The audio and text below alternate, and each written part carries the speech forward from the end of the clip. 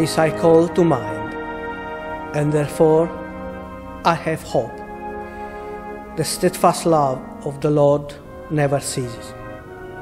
His mercies never come to an end. They are new every morning.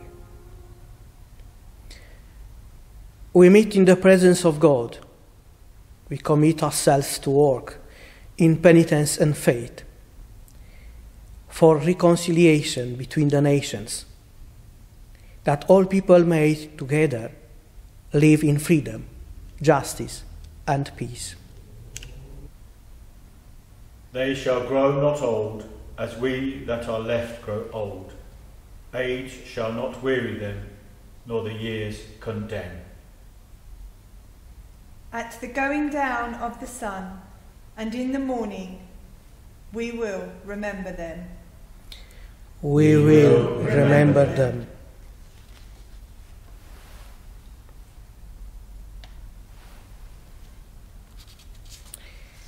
Ever living God, we remember those whom you have gathered from the storm of war into the peace of your presence.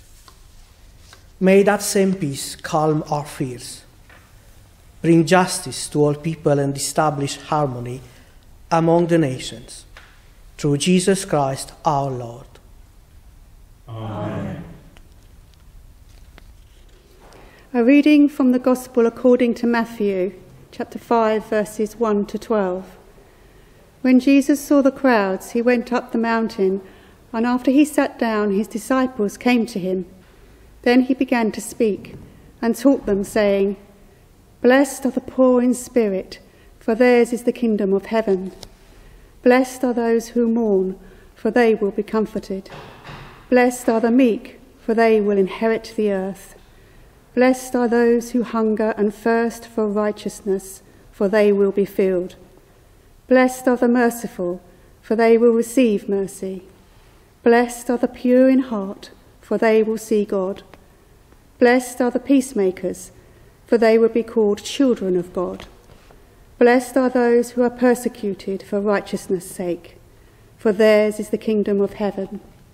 Blessed are you when people revile you and persecute you and utter all kinds of evil against you falsely on my account. Rejoice and be glad, for your reward is great in heaven, for in the same way they persecuted the prophets who were before you. This is the word of the Lord.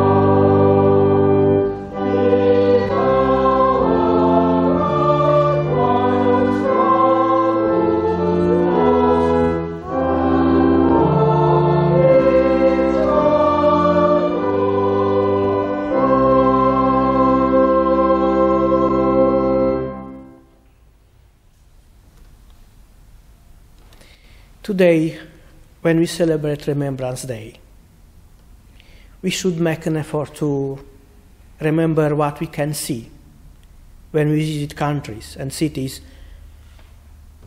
and our villages. We can see statues or monuments erected in memory of the great people who decided the fate of others, who are considered to have changed the course of history.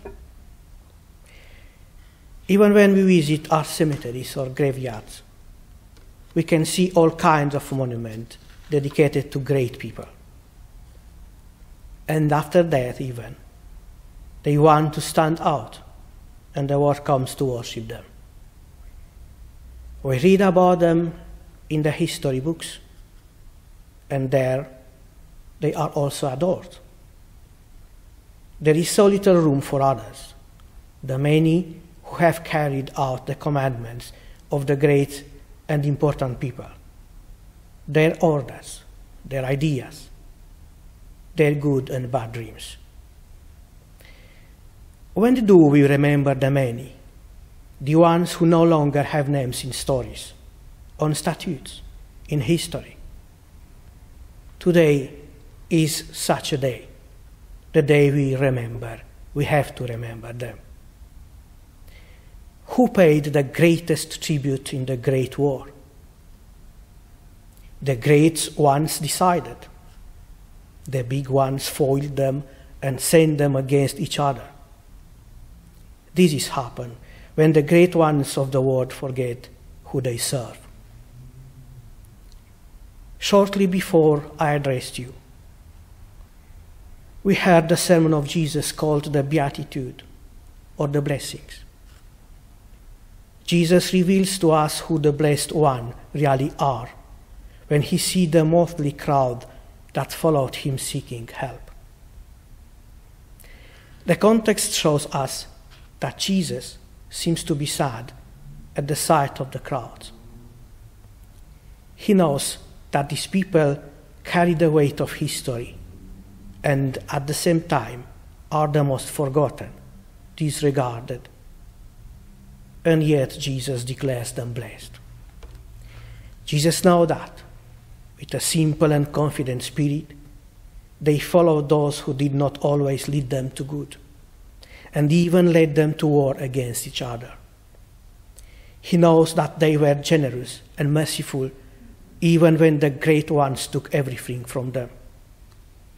He knows that they, with a pure heart, obeyed the commandments and killed believing that are defending the peace so longed for.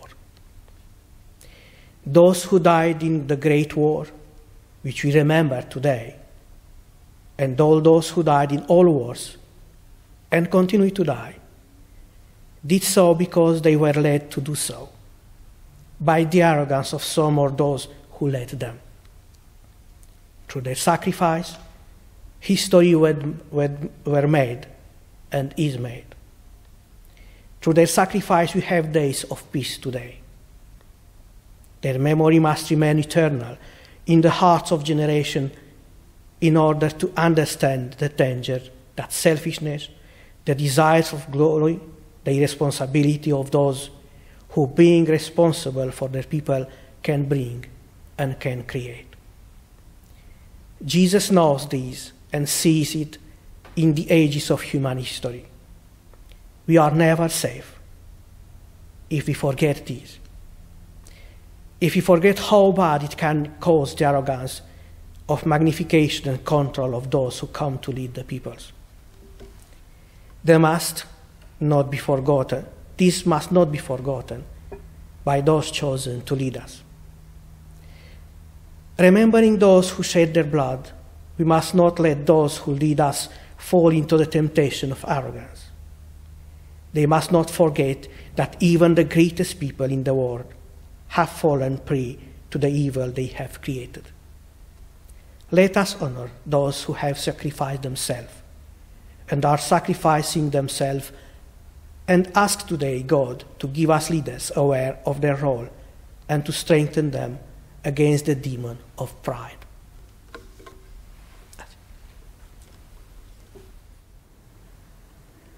Let us pray.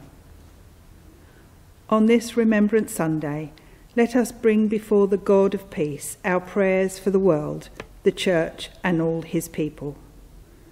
We remember today, O Lord, all those who have died in any kind of war throughout your world soldiers who perished in the horror of battle, innocent people buried beneath the rubble from bomb attacks, men, women, and children brutally attacked and murdered in their villages. Today we remember especially those victims of the two world wars, including those close to us or to our parents and grandparents.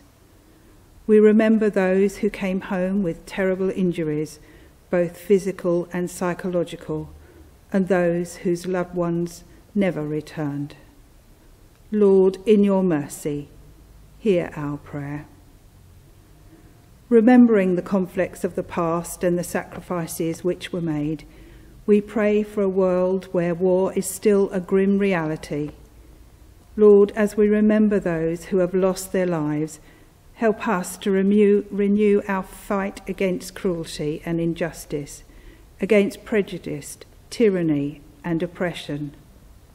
Lord, in your mercy, hear our prayer. Lord God, we pray for the leaders of the nations at this time asking you to pour out your spirit of reconciliation on them. Give them a longing to bring freedom from fear and freedom from want for all peoples. Give strength and courage to those who bear heavy responsibilities for the peace of the world. We pray also for the Christian Church, called to witness to your love in this generation. Lord, in your mercy, hear our prayer. Merciful God, we pray for all who face difficulties in their personal lives, problems in their families, in their friendships, in their neighbourhoods, or in their workplaces. Help them to be calm in times of uncertainty and patient with those around them. Show us when we can help and give support to others around us. On this day of remembrance, our hearts and prayers go out to all who mourn the loss of those we have loved. Help all those who are bereaved to find the same consolation that in knowledge of your love they may honour the past by looking to the future. Lord, in your mercy, hear our prayer. Finally, Lord, a prayer for ourselves that we may all put our confidence in you. O Lord, you know we are often filled with fear and foreboding. Give us courage and deepen our trust. You are a rock which nothing can shatter. On you we can place the whole weight of our lives.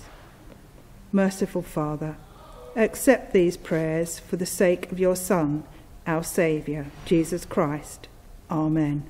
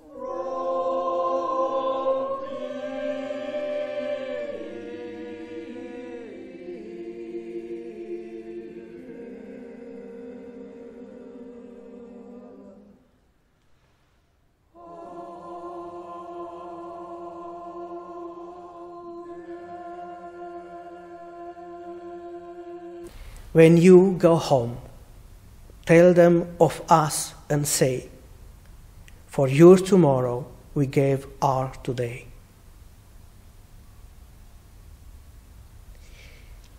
God, grant to the living grace, to the departed rest, to the church and all people unity, peace, and concord, and to us and all God's servants life everlasting.